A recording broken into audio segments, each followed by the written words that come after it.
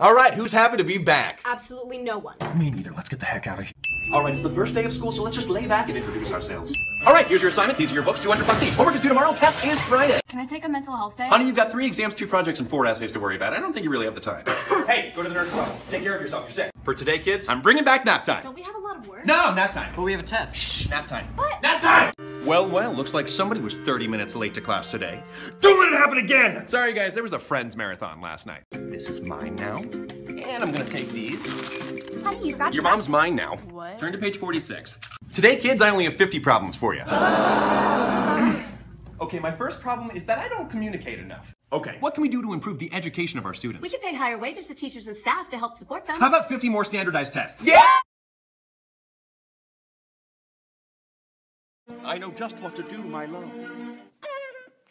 She's gonna be so mad, bro. You'll never have her. And why is that? Because I love you. I just can't even. There's one way to settle this. An epic battle! Ah! You're so dead. Help! Never fear, for I. got this. Oh, that's sweet. That's beautiful. Two weirdos charged with stealing a horse and singing in public. The quest to find my true love failed. There was lots of girls with this shoe size. But you know she looks like right. Oh shoot, bro, no. When I think about my worries and I think about my strife, here is what I simply say. Help! Where's the danger? There! Hi, I'm your guidance counselor, and I'd like to talk to you about your plan for the future. Nope.